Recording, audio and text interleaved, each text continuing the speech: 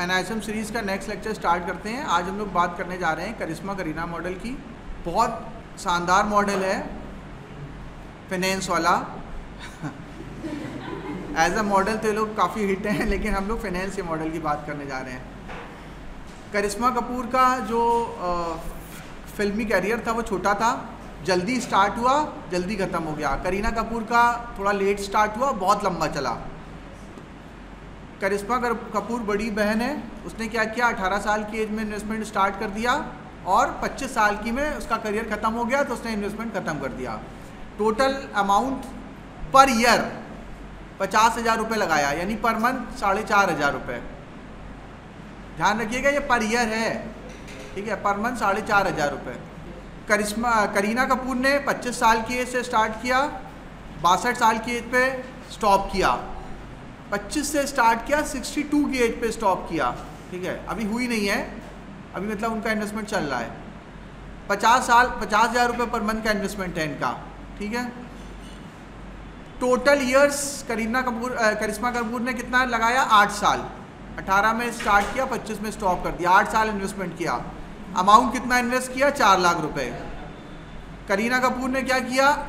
अड़तीस साल इन्वेस्टमेंट किया। 25 से स्टार्ट किया 62 पे स्टॉप किया। टोटल इन्वेस्टेड अमाउंट 19 लाख रुपए। इन्वेस्टमेंट पे रिटर्न दोनों को सेम मिल रहा है 15-15 परसेंट का। ठीक है? ये ध्यान रखिएगा। यानी सेम रिटर्न मिल रहा है। ऐसा नहीं कि एक को ज़्यादा मिल रहा है, एक को कम मिल रहा है। सेम सेम रिटर्न मिल रहा है। दोनों ने एक इक्विटी म्यूचुअल फंड में एसआईपी करी है। अब देखिए, दोनों लोग जब 40 साल की एज की होंगी, जब ये 40 साल की होंगी तो इनके पास 55 लाख होगा, जब ये 40 साल की होंगी इनके पास 27 लाख होगा। जब ये 40 जब 50 साल की होंगी इनके पास सवा दो करोड़ होगा, जब ये 50 साल की होंगी इनके पास सवा सवा एक करोड़ होगा। और जब ये 60 साल की हो जाएँगी तो इनके पास 12 करोड़ होगा, और ये जब लगभग साठ, बासठ साल की हो जाएँगी तो उनके पास सिक्स पॉइंट सेवन करोड़ होगा, यानी आधा। करिश्मा कपूर का रिटर्न बहुत ज़्यादा है। जबकि उन्होंने टोटल अमाउंट जो है वो करीना की तुलना में बहुत कम इन्वेस्टमेंट किया। तो ये कैसे हुआ? ये इसलिए संभव हो पाया क्योंकि पावर ऑफ़ कंपाउंडिंग के फॉर्मूले में A is equal to P one plus R upon hundred की पावर एन में एन सबसे इंपॉर्टेंट रोल प्ले करता है। एक्सपोनेंशियल रिटर्न जनरेट करता है। तो एन अगर ज़्यादा है, करीना कपूर का एन कितना है? टाइम कितना है? Thirty eight years Karishma Kapoor का कितना है? Total invested duration thirty eight plus eight, ठीक है, ये दो और कम कर दो चाहे तो उसमें, ठीक है? तो लगभग 44 या 46 ईयर उन्होंने इन्वेस्टमेंट किया। तो 46 ईयर अगर इन्वेस्टेड रहा तो उनका रिटर्न ज़्यादा बढ़ गया। इसको एक और कैलकुलेटर से हम लोग समझते हैं। मान लीजिए किसी को एक करोड़ रुपए का अमाउंट सेव करना है फ्यूचर के लिए। वो 10 साल तक इन्वेस्टमेंट करना चाहता है। और हमें पता है कि इक्विटी म्यूचुअल फंड एसआईपी में 18 परसेंट का रिटर्न बन सकता है। अगर एग्रेसिव डाइवर्सिफाइड अच्छा म्यूचुअल फंड आप चूज़ करें तो हम ये चूज़ करते हैं कि हमें कितना पैसा पर मंथ इन्वेस्टमेंट करना होगा। 10 साल में हमें एक करोड़ रुपए बनाने हैं। 18 परसेंट का सीएजीआर रिटर्न हमें मिल रहा है। तो हमें तीस हज़ार रुपये पर मंथ इन्वेस्ट करना होगा, तब हम एक करोड़ रुपए बना पाएँगे। इसको पाँच साल से स्टार्ट करते हैं तो और अच्छे से समझ में आएगा आपको, ठीक है? पाँच साल से स्टार्ट करते हैं। पाँच साल में एक करोड़ बनाना है। एक लाख रुपए से ज़्यादा हर साल इन्वेस्ट करना होगा, तब कहीं जाके पर मंथ एक लाख रुपए पर मंथ इन्वेस्ट करना होगा, तब कहीं जाके आप एक एक करोड़ रुपए बना पाएँगे। ठीक है? टेन्योर अब हम करते हैं दस साल। दस साल अगर चाहते हैं तो एक लाख रुपए की जगह सिर्फ़ आपको तीस हज़ार रुपये इन्वेस्ट करना होगा पर मंथ ठीक है, जो कि थोड़ा डिफ़िकल्ट है। तीस हज़ार रुपये एक लाख रुपए कौन इन्वेस्ट कर पाएगा? मतलब अपर मिडिल क्लास वाला भी नहीं कर पाएगा जल्दी जल्दी अब हम बढ़ते हैं पंद्रह साल पे। पंद्रह साल में सिर्फ़ ग्यारह हज़ार रुपये अब मैनेजबल हो गया। दस ग्यारह हज़ार रुपये तो लोग कार की ई पे करते हैं। पंद्रह हज़ार रुपये बारह हज़ार रुपये यानी कि कार लेने की जगह अगर आप ग्यारह हज़ार रुपये का एसआईपी कर देते हैं तो आप करोड़पति हो जाएँगे। ठीक है, और आप जैगुआर खरीद लेंगे। पंद्रह साल बाद। अभी अभी अगर आप ऑल्टो खरीद रहे हैं या वैगन आर खरीद रहे हैं, उसमें आप दस हज़ार रुपये की एम पे कर रहे हैं, उससे बेहतर है आप दस हज़ार रुपये का एसआईपी कर दीजिए, पंद्रह साल बाद जैगुआर उठा लीजिए रेंज रोवर उठा लीजिए। आप अगर बीस बीस बीस साल तक इन्वेस्ट करते हैं तो कितना इन्वेस्टमेंट करना पड़ेगा पर मंथ मात्र four thousand three hundred rupees एक करोड़ कमाने के लिए सिर्फ़ चार हज़ार तीन सौ रुपये which is quite possible quite manageable सब लोग कर सकते हैं। अगर बीस पच्चीस हज़ार रुपये भी कमाते हैं तो चार पाँच हज़ार रुपये सेव कर सकते हैं फ्यूचर के लिए। अब अगर पच्चीस साल तक करें, तब क्या होता है? सत्रह सौ रुपये तीस साल तक करें। आप लोग जनरली बीस साल के हैं, अगले तीस साल तक इन्वेस्टमेंट करेंगे। सात सौ रुपये महीना। पैंतीस, वो अभी आगे आने वाले लेक्चर्स में बताया जाएगा। कहाँ इन्वेस्ट करना है, कैसे इन्वेस्ट करना है म्यूचुअल फंड स्कीम कैसे चूज़ करनी है स्टॉक्स कैसे पिक करने हैं वेल्थ क्रिएशन कैसे करना है, ये सब आने वाले लेक्चर्स में बताया जाएगा आपको। थर्टी फाइव ईयर अगर आप इन्वेस्ट करते हैं तो तीन सौ रुपये इन्वेस्ट करना पड़ेगा। और अगर आप फोर्टी ईयर्स तक इन्वेस्ट करते हैं, एक करोड़ बनाने के लिए आपको सिर्फ़ एक सौ अठारह रुपये पर मंथ इन्वेस्ट करना पड़ेगा।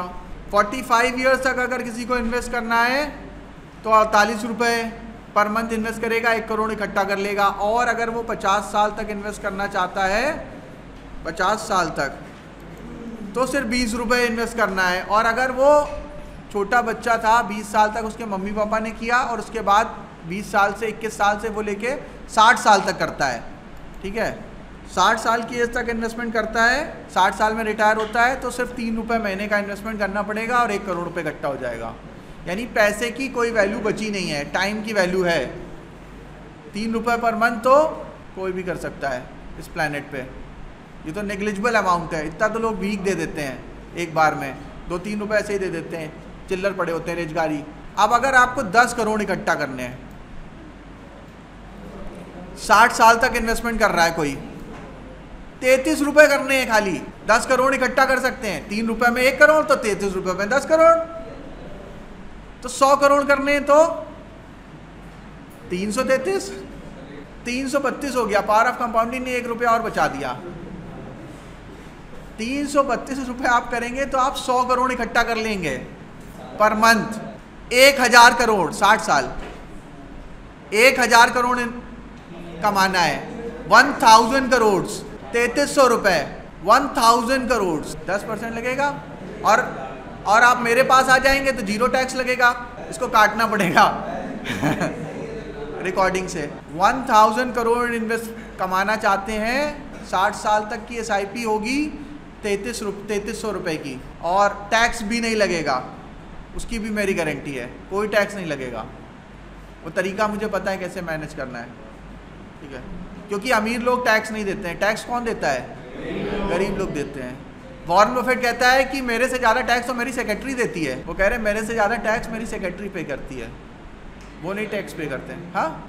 और वो सैलरी लेते नहीं है। टेन थाउज़ेंड करोड़ अगर इकट्ठा करना हो, जानना चाहेंगे? किसी का हार्ट फेल ना हो जाए, तैतीस हज़ार रुपये दस हज़ार करोड़। आप इंडिया के टॉप हंड्रेड में आ जाएँगे। तैतीस हज़ार भी सेव करना कोई बहुत बड़ी बात नहीं है। अगर किसी का एक लाख रुपए का अर्निंग है, मंथली तो तैतीस हज़ार रुपये भी सेव कर सकते अब आपके कोई क्वेश्चन हो तो पूछिए। इनकम टैक्स रेट तब मारती है जब कोई इलीगल पैसा होता है। वो तो दिख रहा है ना, आपने पाई पाई करके बूंद बूंद करके सागर भरा है। तो दिख रहा है ना? कि आपने पूरा साठ साल तक हर महीने थोड़ा थोड़ा एक अमाउंट जमा किया है ना? रेट क्यों मार देगा? रेट तो इलीगल एकदम से कहीं से पैसा आ गया खाते में। तो दिख रहा है यार, मैंने पूरी ज़िंदगी कमाया है धीरे धीरे करके इकट्ठा किया है। तीन तीन चार चार हज़ार रुपये पाँच पाँच हज़ार रुपये की एसआईपी करी है। ठीक है? तो इसलिए कोई कंसर्न की बात नहीं है, कोई रेट नहीं पड़ेगी आपके ऊपर। तो यानी वेल्थ क्रिएशन बहुत आसान है, ठीक है? टेन थाउज़ेंड करोड़ थोड़ा ज़्यादा हो रहा है। वन थाउज़ेंड करोड़ तक तो सबके लिए बस में है। तैंतीस सौ रुपये तो सब कोई मैनेज कर सकता है। और कोई अपने बच्चे के लिए अगर अगर हम लोग स्कूल में डालते हैं, उसका एक महीने का खर्चा पाँच से दस हज़ार रुपये होता है। चार पाँच हज़ार रुपये स्कूल की फ़ीस होती है। ठीक ठाक स्कूल की। अच्छे की बात नहीं कर रहे। अच्छे वाले तो और ज़्यादा लेते हैं। मेरे बच्चे जिस स्कूल में पढ़ते हैं तो मेरा ऑन एन एवरेज खर्चा उनका कन्वेंस और उनकी बुक्स सब मिला के दस हज़ार रुपये तो पता ही नहीं चलता कहाँ गया महीने का। तो अब मैंने मान लिया कि मेरे दो की जगह अगर तीन बच्चे हैं, दो बच्चे बुढ़ापे में मेरा ध्यान नहीं रखेंगे क्योंकि जब कन्फर्म है, क्योंकि कोई नहीं रखता है, ठीक है? तो मेरा एक बच्चा है ऐसा एसआईपी वाला जो मेरा ध्यान मेरे मरते दम तक रखेगा। तो हर एक को ये मान लेना चाहिए कि उसका एक बच्चा और है, उसका उसका नाम एसआईपी है। और उसको भी उतना ही पैसा दे जितना कि वो अपने बाकी रियल सन्स या डॉटर पे देता है तो उसका ज़िंदगी में कोई दिक्कत नहीं आएगी। क्योंकि आप लोग को ही पता, आप लोग अपने माँ बाप की कितनी सेवा कर रहे हैं। मुझे पता है मैं अपनी माँ बाप की कितनी सेवा कर पा रहा हूँ। टाइम ही नहीं है। कब सेवा करेंगे? आप आगे वाली, आने वाली जनरेशन से एक्सपेक्ट नहीं कर सकते हैं कि वो आपके बुढ़ापे का सहारा बनेगा। पहले क्या होता था? जो बच्चे होते थे रिटायरमेंट कॉर्पस होते थे। मतलब ये मान लेते थे मेरे बच्चे मेरे बुढ़ापे में ध्यान रखेंगे। अभी ऐसा नहीं है। ये वाला फिर चैप्टर यहीं पे क्लोज करते हैं। नेक्स्ट टॉपिक पे आते हैं आगे। Mister Gupta and mister Saxena just like Karishma Kareena model ध्यान से देखिएगा मिस्टर सक्सेना ने 35 साल की एज में इन्वेस्टमेंट स्टार्ट किया, क्योंकि इंडियन को 35 साल की एज में ही होश आता है। लगभग 28 साल 30 साल में शादी होती है। एक मेल की इंडियन मेल की 27 28 साल के आसपास। बच्चे होते होते चार पाँच साल के होते हैं, कभी होते होते पैंतीस साल का हो जाता है। जब बच्चे एक दो बच्चे हो जाते हैं, बीवी, और उसको लगता है कि अब थोड़ा मैं वीक हो रहा हूँ बर्डन आ गया है, थोड़ा मेच्योर हो जाता है पैंतीस साल में, तब उसको लगता है, यार, मुझे बुढ़ापे में क्या होगा? क्योंकि मेरी कंपनी तो मुझे रिटायरमेंट में कुछ देगी नहीं पेंशन तो ख़त्म हो गई है, सरकारी कंपनियों में भी पेंशन नहीं मिलती है। तो उसको होश आता है कि इन्वेस्टमेंट करना है। तो उसने क्या किया? एकदम घबरा के पंद्रह हज़ार रुपये महीने का एसआईपी स्टार्ट कर दिया, पैंतीस साल की एज में। और नेक्स्ट पच्चीस साल तक इन्वेस्ट किया, क्योंकि पच्चीस साल बाद वो साठ साल का हो जाएगा। उसके बाद वो पंद्रह हज़ार रुपये नहीं निकाल पाएगा, क्योंकि नौकरी ख़त्म हो जाएगी रिटायर हो जाएगा, नौकरी चली जाएगी। तो पैंतालीस लाख रुपए का टोटल इन्वेस्टमेंट किया मिस्टर सक्सेना ने, और उनके पास कॉर्पस हो गया फोर करोड़ का। अब वो फोर करोड़ के कॉर्पस से अपना बुढ़ापा काट सकते हैं आराम से। लेकिन मिस्टर गुप्ता ज़्यादा स्मार्ट थे। इन्होंने 25 साल की एज में एमबीए किया। एमबीए में उनके प्रोफेसर ने उनको एन के बारे में बताया कोर्स कराया और उन्होंने एसआईपी स्टार्ट कर दी। पाँच हज़ार रुपये महीने की इंटर्नशिप स्टार्ट करी। बीस हज़ार रुपये महीने, पंद्रह हज़ार महीने की सैलरी मिलने लगी। पाँच हज़ार रुपये का एसआईपी स्टार्ट कर दिया। अगले पैंतीस साल तक इन्वेस्टमेंट किया। साठ साल की एज में उनके पास उन्होंने टोटल इन्वेस्टमेंट किया इक्कीस लाख रुपये। पाँच करोड़ सत्तर लाख रुपये से रिटायर हो गए। पैसा कम लगाया। आधा लगाया, मिस्टर सक्सेना से आधा। और रिटायरमेंट कॉर्पस उनसे काफ़ी ज़्यादा मिला, लगभग डेढ़ करोड़ रुपए ज़्यादा, डेढ़ करोड़ से भी ज़्यादा। ठीक है एक्स्ट्रा मिल गया। ये क्या है? अर्ली स्टार्ट करने का फ़ायदा। करिश्मा करीना मॉडल में भी यही था। जिसने अर्ली स्टार्ट किया, उसका पैसा कम लगेगा। इन्वेस्टेड अमाउंट कम होगा, लेकिन कॉर्पस ज़्यादा मिलेगा। इसमें भी पंद्रह परसेंट से कैलकुलेशन करी गई है। पंद्रह परसेंट तो मतलब पॉसिबल है। आराम इंडेक्स इंडेक्स ही पंद्रह परसेंट का रिटर्न बना देता है। कोई क्वेश्चन कोई डाउट ये महान इन्वेस्टर वॉरेन बफेट जिन्होंने चश्मा लगाया है, और दूसरे सीईओ हैं कोका कोला के सीईओ कोका कोला 24 घंटे काम करते हैं, दिनों रात काम करते हैं, तीन सौ पैंसठ दिन काम करते हैं। अपनी हेल्थ से कॉम्प्रोमाइज़ करते हैं फैमिली को टाइम नहीं ज़्यादा दे पाते हैं, बहुत मेहनत करते हैं और उनको 16 मिलियन पर मिलियन डॉलर पर ईयर की सैलरी मिलती है। बहुत बड़ी सैलरी है। 16 मिलियन डॉलर पर ईयर लेकिन वॉरेन बफेट साहब कोका कोला खाली पीते हैं मैगडी में जाते हैं लाइफ को एंजॉय करते हैं, कोई जॉब नहीं करते, कोई काम नहीं करते, खाली अपनी हॉबी वर्क करते हैं, पढ़ना उनकी हॉबी है और कोका कोला पीना और मैगडी में बर्गर खाना उनकी हॉबी है। तो वो कोका कोला पीते हैं और बर्गर और सॉफ्टी और कैंडी ये सब खाते हैं और लाइफ को इन्जॉय करते हैं और उनको मिलता है पाँच सौ सैंतालीस मिलियन डॉलर का डिविडेंड इतना कि कोका कोला के सारे एम्प्लॉयज़ की सैलरी भी नहीं है। सब मिला दो, तब भी इससे कम ही आएगा। यानी कि लाखों लाख एम्प्लॉय मिलकर साल में जितना कमाते हैं, अकेले वो और सारा काम भी करते हैं, पूरा साल। मेहनत करते हैं, या कुछ भी नहीं करते हैं। और खाली इनको इतना डिविडेंड मिलता है। इनके पास कोका कोला में आठ परसेंट की स्टेक है। और ये डायरेक्टर भी थे कोका कोला के। वो उन्होंने बहुत पहले रिटायर कर रिज़ाइन कर दिया था। हमें क्या करना है? तुम लोग चलाओ। वो तो खाली कोका कोला पियेंगे। ठीक है? तो ये क्या डिफरेंस है? एक्टिव वर्सेस पैसिव इनकम ये जो टॉपिक है, वो है एक्टिव वर्सेस पैसिव इनकम आप लोग जब काम कर रहे होते हैं जॉब कर रहे होते हैं तो आपको एक्टिव इनकम मिलती है। अगर इनके सीईओ की एक्सीडेंट हो जाए, हाथ पैर टूट जाए, पैरालाइज हो जाए, आँख खराब हो जाए कोका कोला उनको सैलरी देगा? दूसरा दूसरा सीईओ रख लेगा। कोई टीचर किसी स्कूल में पढ़ा रहा है, एक्सीडेंट हो गया उसका, पढ़ा नहीं पा रहा वो, अगले महीने सैलरी मिलेगी? एक दो महीने दे देगा अगर कोई बहुत दानी होगा, चलो ठीक है इलाज इलाज करा देगा, लेकिन क्या फिर वो आगे कमा पाएगा? फिर क्या करेगा उसकी बीवी बच्चे, बूढ़े माँ बाप का क्या होगा? भीख मांगेंगे सब? क्या करेंगे? एक्टिव अर्निंग मतलब कमिटिंग सुसाइड अगर आप वॉरेन बफेट साहब ने कहा कहा था never depend upon single source of earning try to create multiple source of earning एक अर्निंग का सोर्स बंद हो गया। मान लो आपको कुछ नहीं हुआ, बिल्कुल भले चंगे हैं। आप, आपका एटीट्यूड बड़ा रंगबाजी वाला है, आपको फायर कर दिया गया है। डायरेक्टर ने कहा, ऐसा है। बॉस ने कहा आप अपना एटीट्यूड लेके घर जाओ। यहाँ दोबारा दिखाई मत देना। नौकरी चली गई, फिर क्या करोगे? कोविड आ गया दो साल तक। जॉब ही नहीं थी, फिर क्या करेंगे? एक्टिव इनकम बहुत खतरनाक है। इसीलिए पूरी दुनिया में लाखों करोड़ों लोग सड़क पे आ गए थे। कैसे गुजारा बसारा कर रहे थे? ये तो सरकार का भला हो, मोदी जी का, जिन्होंने सबको फ्री में राशन दिया। फ्री में वैक्सीन लगवा दी। नहीं तो ना कोई वैक्सीन लगवा पाता अपने पैसे से। कुछ लोग लगवा लेते दो चार पाँच परसेंट। और गरीब लोग क्या करते? खाना कहाँ से खाते? सरकार अभी तक राशन दे रही है। फ्री में इलाज कराती है। फ्री में पढ़ाई कराती है। इतने बड़े देश को। तो अगर दे, सरकार ना हेल्प करे तो मतलब कितने करोड़ लोग मर चुके होते अब तक। जैसा कि अंग्रेज़ों के समय होता था। अकाल पड़ जाता था, सूखा पड़ जाता था, बाढ़ आ जाती थी। लोग भूख से मर जाते थे, लाखों लाख लोग कंकाल फैले पड़े रहते थे। आप जाएँगे बंगाल में, पुराने समय की फ़ोटो देखेंगे, कंकाल पड़े हुए हैं। गिद्ध गिद्ध और कौए उसको नोच के खा रहे हैं, डेड बॉडी को। ये स्थिति होती थी इंडिया में, अंग्रेज़ों के समय में। अभी क्या है, सरकार अपनी है तो ध्यान रखती है।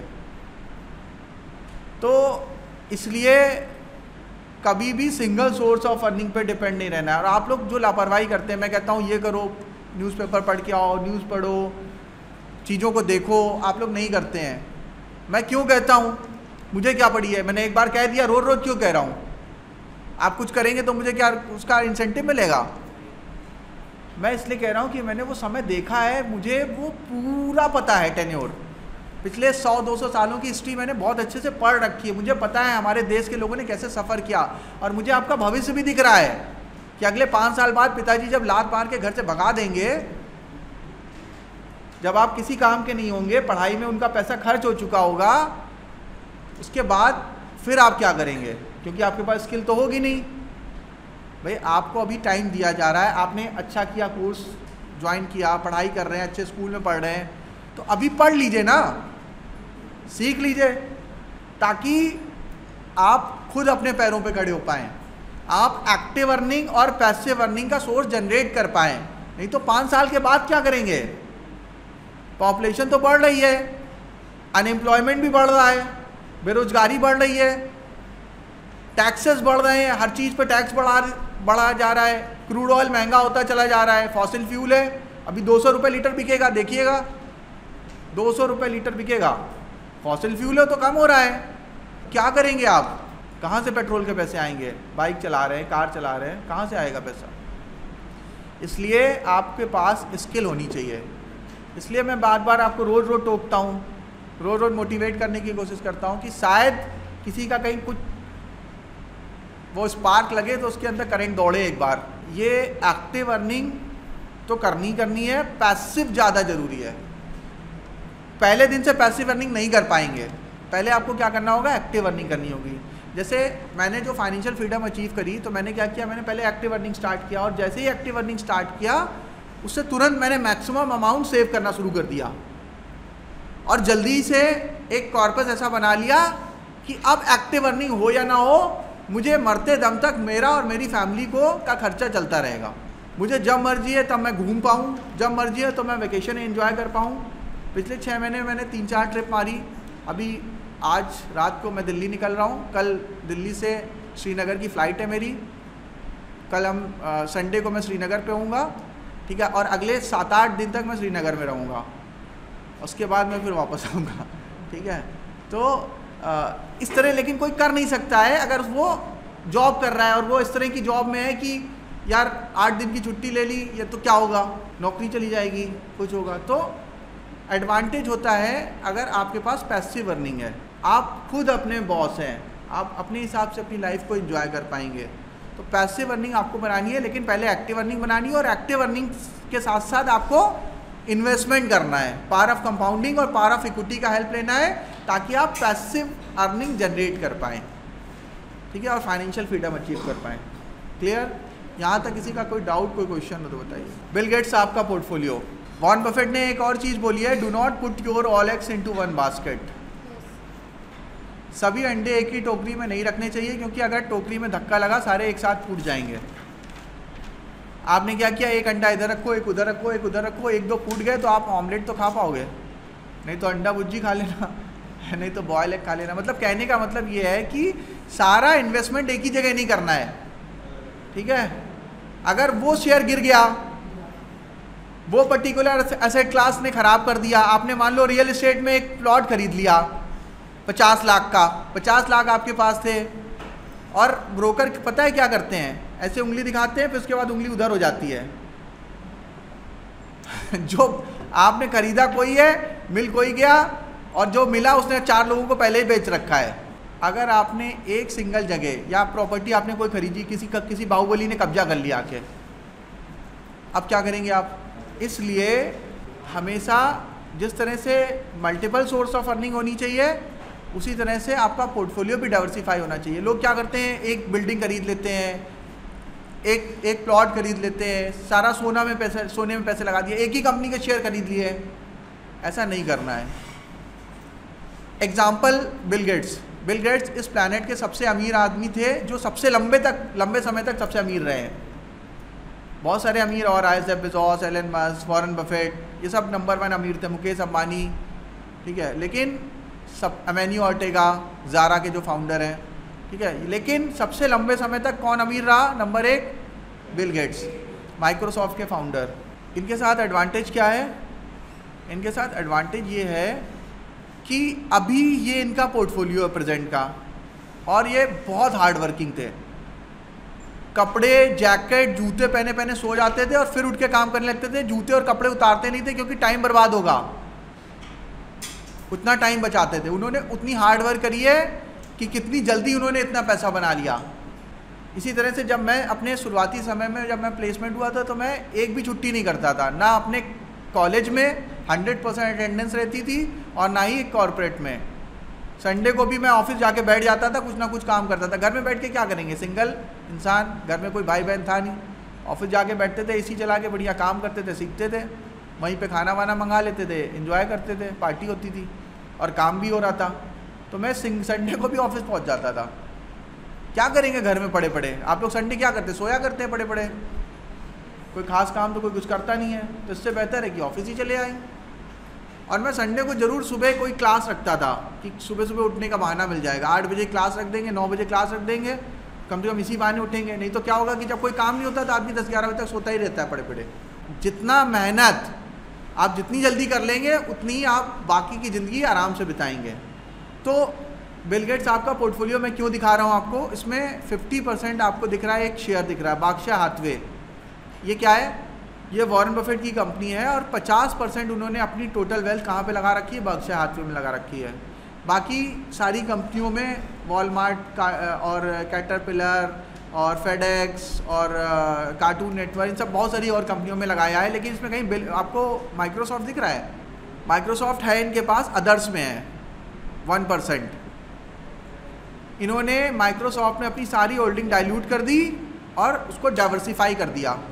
एफएमसीजी में लगा दिया मीडिया एंटरटेनमेंट में लगा दिया वॉलमार्ट वॉलमार्ट में लगा दिया।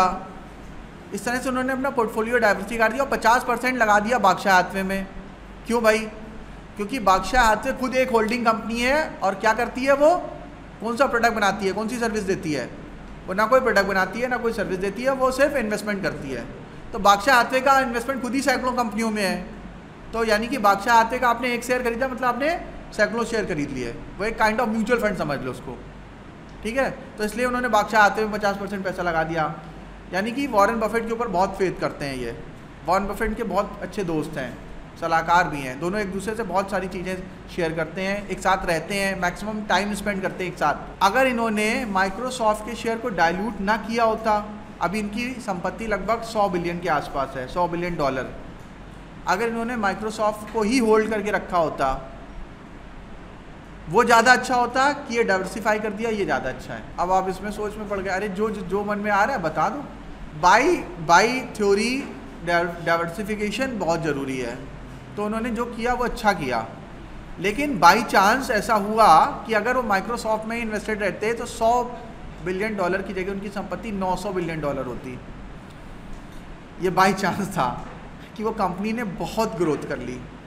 और अगर वो अपने शेयर नहीं बेचते तो इस समय उनकी संपत्ति 900 बिलियन डॉलर होती, जो कि Warren Buffett Jeff Bezos, Warren Buffett, Elon Musk सब मिल के भी नहीं कर पाते। क्योंकि माइक्रोसॉफ्ट का रेवेन्यू आपने देखा होगा सबसे ज़्यादा होता अभी हमने कल लास्ट लेक्चर में बात करी थी, क्योंकि उसका क्या सॉफ्टवेयर बेचता है वो? कोई एक्सपेंस ही नहीं है। तो उसका मार्जिन बहुत ज़्यादा है। प्रॉफिट बहुत ज़्यादा है। और दुनिया के सारे लोग विंडोज़ यूज़ करते हैं। एक्सेप्ट वेरी फ्यू जिनके पास एप्पल का मैकबुक या मैकबुक प्रो है मैकबुक एयर है, एक दो परसेंट लोग हैं, बाकी नाइन्टी एट परसेंट तो विंडोज़ ही यूज़ करते हैं। ठीक है? या अगर मैक यूज़र है तो उसके पास विंडोज़ भी होता है। ठीक है? क्योंकि सारा काम मैक पे हो ही नहीं पाता है। कनेक्टिविटी का बहुत इशू आता है। कॉम्पेटिबिलिटी का इशू आता है। तो इसलिए विंडोज़ तो सबके पास होता ही है। ठीक है? तो हम लोग फिर क्लास यहीं पे ख़त्म करते हैं। हमने क्या सीखा? Power of compounding power of equity early investment time बहुत मैटर करता है। Passive versus active income benefits of diversification diversified ज़रूर होना चाहिए। चांस की बात है कि माइक्रोसॉफ्ट ने बहुत अच्छा कर लिया, लेकिन उसमें परेशान होने की कोई बात नहीं। अभी भी सौ बिलियन बहुत है। डाइवर्सिफिकेशन ज़्यादा अच्छा है।